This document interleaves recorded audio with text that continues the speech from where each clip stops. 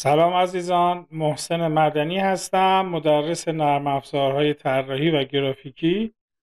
در خدمتتون خواهم بود با جلسه ششم از آموزش نرم افزار زیبای کورلدرا در جلسه گذشته ما ابزار بیزی رو یاد گرفتیم.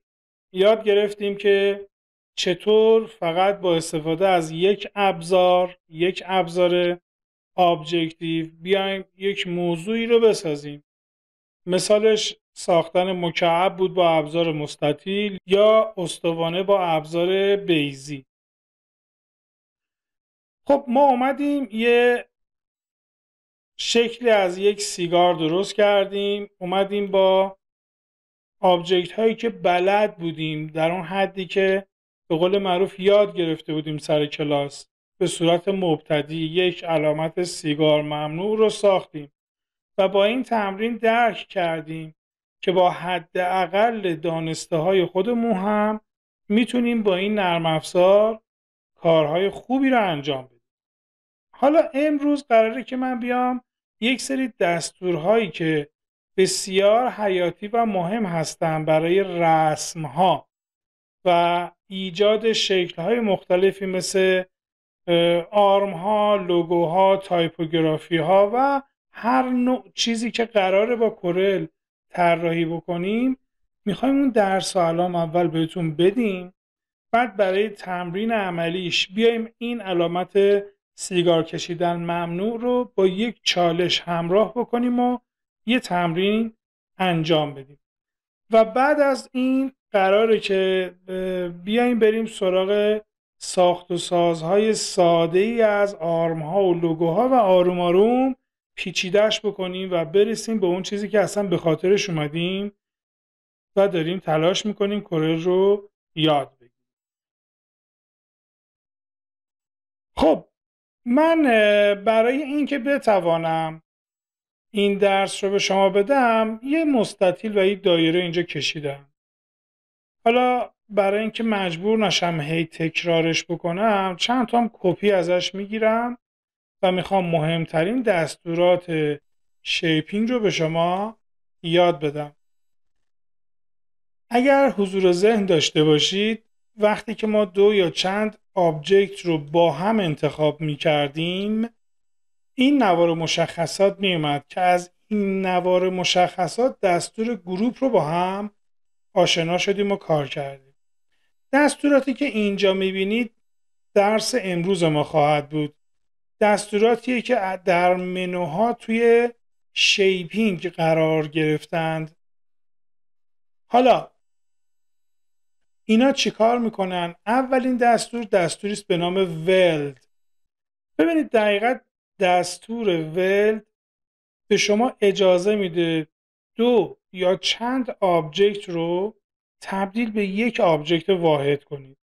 اگه بخوام یه مثال بزنم برای درک بهترش دو تا قالب کره رو در نظر بگیرید که از کاغذ مخصوصش باز کردید گذاشتید روی همدیگه توی یک ظرف که بذارید مثلا توی یخچال ولی فراموش می‌کنید.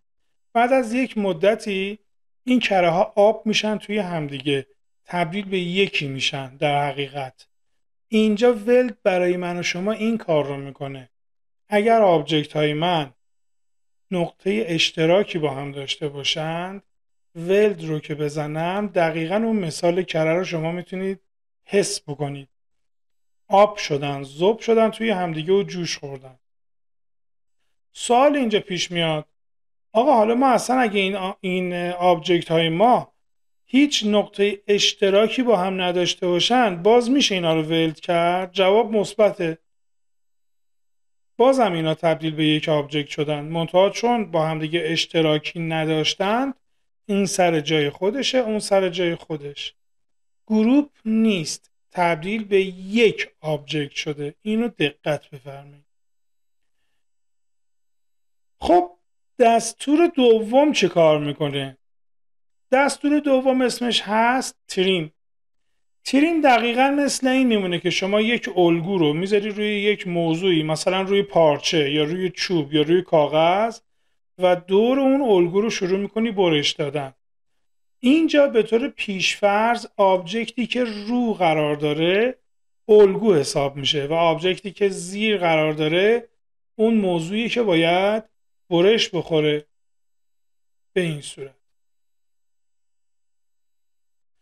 در دستور تریم الگوی من و شما حذف نمیشه. برش می‌خوره و اثرش رو باقی می‌ذاره. دستور بعدی. ببین من اینا رو چون دارم ساده بهتون میگم هیچ دلیلی نمی‌بینم که الان بخوام بیشتر هی در موردش حرف بزنم. توضیحات بیشتر رو ترجیح میدم که توی یه کار عملی باهاشون کار بکنیم اینجوری درکش بکنیم. الان فقط داریم معرفیش می‌کنیم داریم به قول معروف آشنا میشیم باهاشون. دستور بعدی دستوری است به نام intersect. بچه intersect میاد فصل مشترک دو object رو به عنوان object ی جدید متولد می‌کنه. ببینید. این سر جاشه. این هم سر جاشه. ولی فصل مشترکشون به عنوان یک object جدید ساخته شده. خوب دقت بکنید همین سه تا دستوری که الان گفتم شاید اساس کار شما رو در طراحی های آرم و لوگو object های مختلف اصلا تحت تاثیر خودش قرار میده. مهمن بسیار مهمن و قراره که با اینا زیاد تمرین بکنیم در طی کلاسمون. پس intersect فصل مشترک دو object را به عنوان object ی جدید به وجود میاره متولد می‌کنه. دستور بعدی چیست؟ دستور بعدی دستوری است به نام front minus back این چیه؟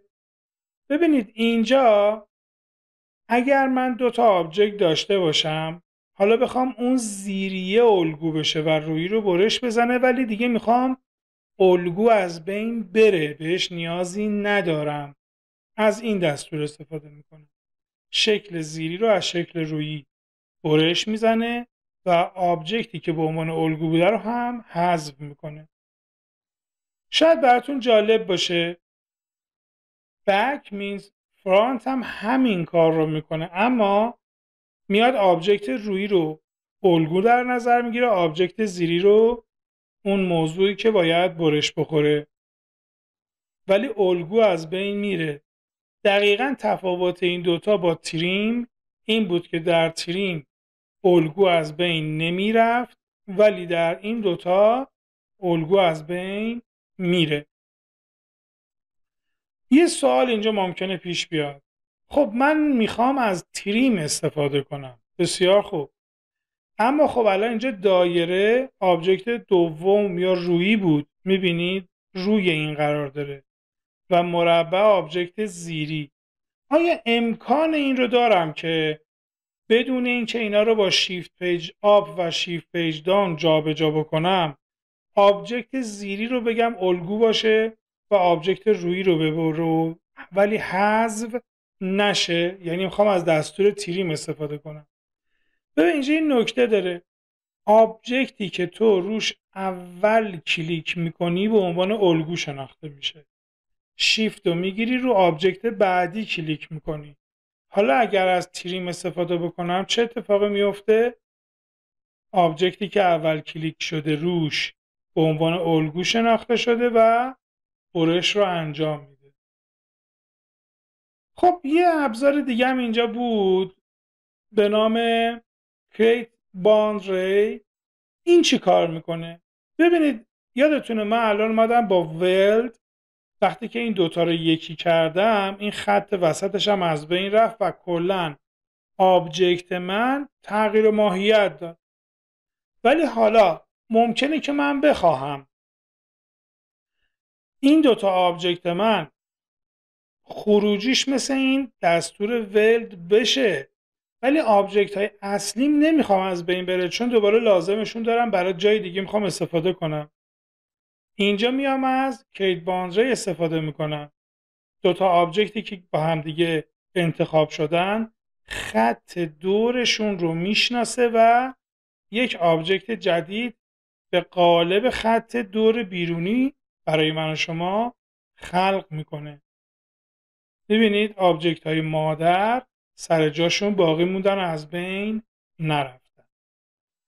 شاید باورتون نشه دوستان همینایی که الان بهتون درس دادم مهمترین دستورات در ترسیمات نرم افزارهای vector ه یعنی ما توی Illustrator هم اینا رو داریم توی Corel هم داریم توی InDesign هم داریم و تمام نرم افزارهایی که به عنوان vector شناخته میشن. حتی مثل 3D Max بسیار خوب. با چیزی که تا الان یاد گرفتیم می‌خوام این علامت سیگار کشیدن ممنوع رو بسازم. به عنوان اولین تمرین این دستور دستوراتی که بهتون یاد دادم. خب با نگه داشتن کنترل میام یک دایره رسم می‌کنم. بسیار خوب. با به علاوه ازش یک کپی می‌گیرم. با نگه داشتن شیفت به مرکز خودش کوچیکش می‌کنم. الان من یه object دارم که طوسیه یک object دارم که قرمزه. حالا می‌خوام طوسیه از قرمزه برش بخوره و حذف شه. دیگه طوسیه رو لازم ندارم. اینجا میام از دستور back minus front استفاده می‌کنم. به همین راحتی یک رینگ ساختم. حالا ممکنه سوال کنید خب ما که این کار رو با اینم انجام داده بودیم. خب چه فرقی داره؟ دوستان این یک آبجکته که خودش می‌تونه خط دور داشته باشه استروک داشته باشه. ولی این یک دایره است که بهش ما استروک دادیم. مهمترین تفاوتش اینه که اینو می‌تونم مثل این مستطیل برای رنگ کردنش کلیک چپ بکنم.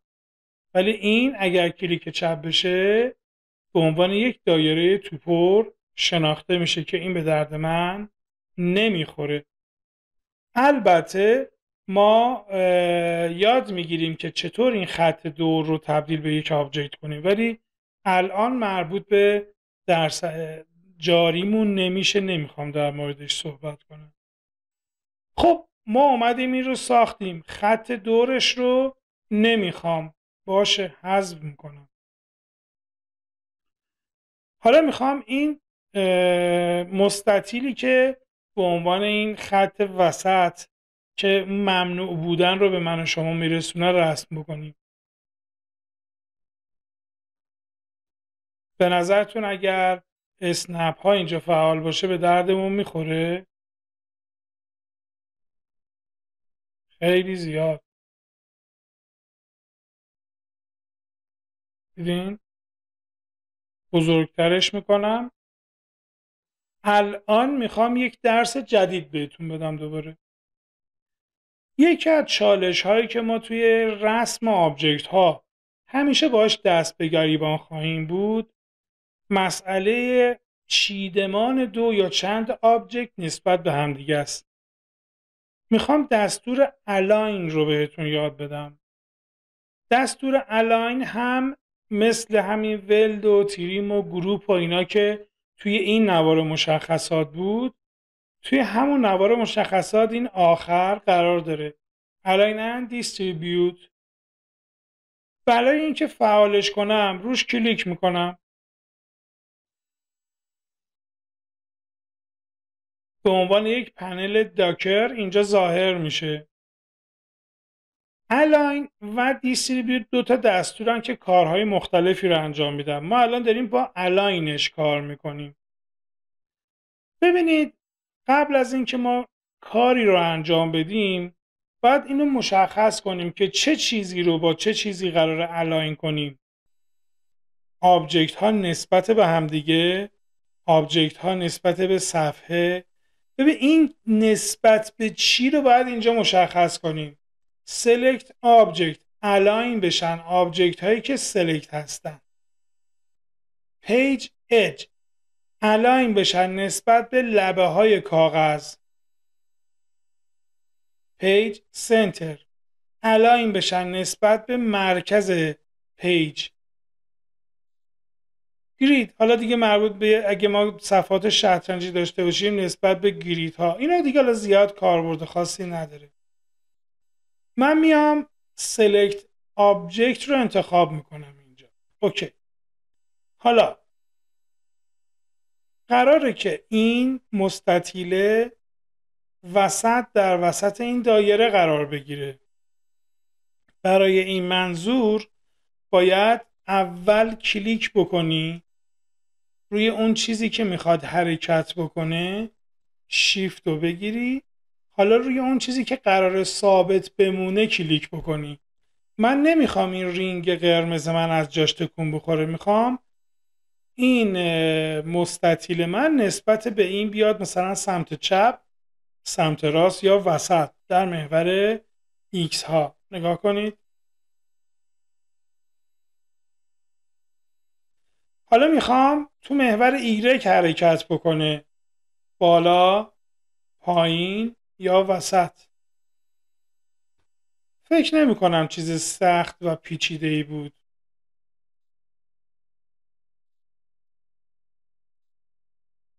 حالا قراره که این مستطیل با این رینگ قرمز رنگ تبدیل به یک object واحد بشن. weld.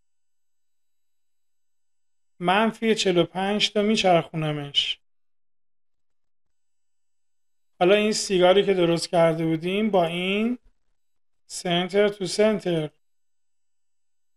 فکر می‌کنم دیگه کاملا مشخصه الان کدوم این دوتا رسمی که انجام دادیم جلسه قبلیه یا الان کدومش حرفه ای داره.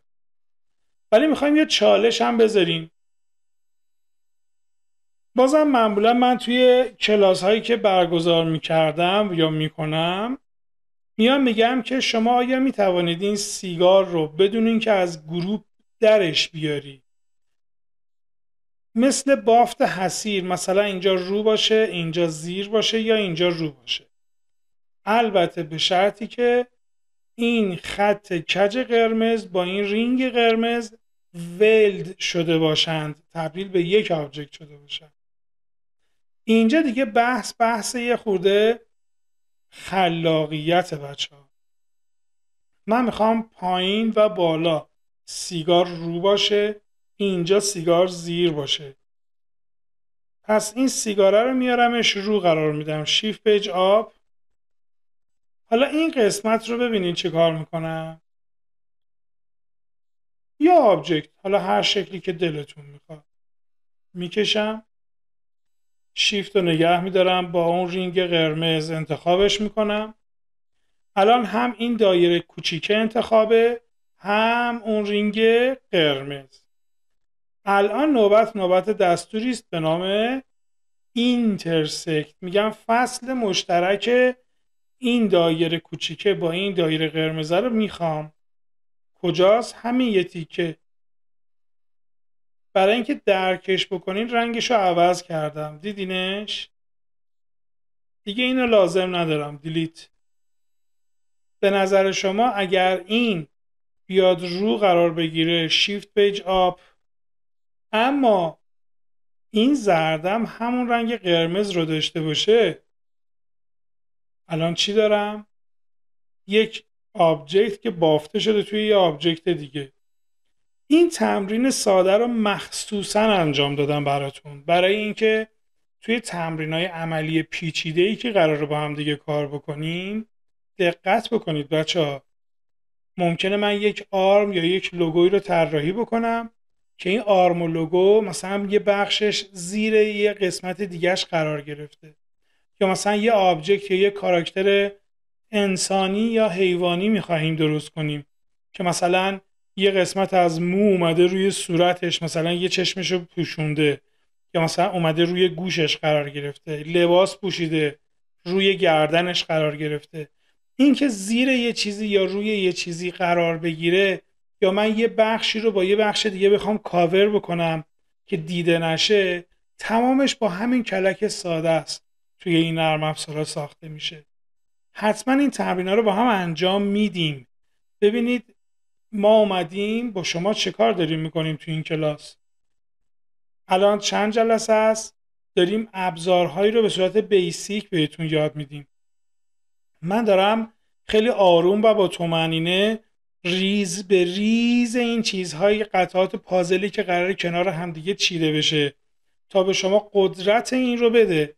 یک object پیچیده و حرفه‌ای رو درست بکنید دارم بهتون میگم. حالا همین پازل ها قرار آروم آروم کنار همدیگه قرار بگیرند و شروع بکنیم به ساختن یک شکل پیچیده. حالا توی جلسه آینده وقتی که من شروع به اجرای یک آرم می‌کنم از همون اول کلاس قراره که با تمام درسایی که تا حالا بهتون داده شده کار بکنم به علاوه اینکه شما رو با یک سری تکنیک هم دوباره آشنا بکنم. درس امروز بسیار بسیار بسیار درس مهمی بود. ازتون خواهش می‌کنم خوب تمرین بکنید. درس های جلسه گذشته جلسات قبل رو هم یه ریویوی خوب داشته باشید. قراره که از جلسه دیگه اصلا مدل کلاسمون عوض بشه و صرفا می‌خوام یک سری پروژه انجام بدیم و ادامه ابزارها و ادامه دستورات رو توی پروژه های عملی با هم دیگه کار بکنیم. تازه شما حس می‌کنید که کورل چه قدرت و توانایی های رو به شما بابت رسم خواهد داد. امیدوارم که از جلسه امروز لذت برده باشید. تا جلسه آینده شما رو به خدای بزرگ می سپارم خدا نگهدارتون.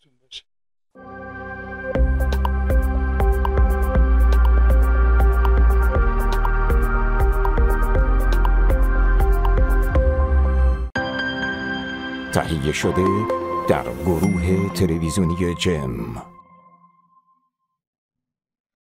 جم آکادمی تقدیم می کند کمپینی جدید برای بهتر دیده شدن. اگر توانایی تولید برنامه های آموزشی را دارید همچنین در این زمینه سابقه دارید و نیاز به دیده شدن برنامه ها از یک شبکه تلویزیونی دارید با ما از طریق شماره های زیر در ارتباط باشید.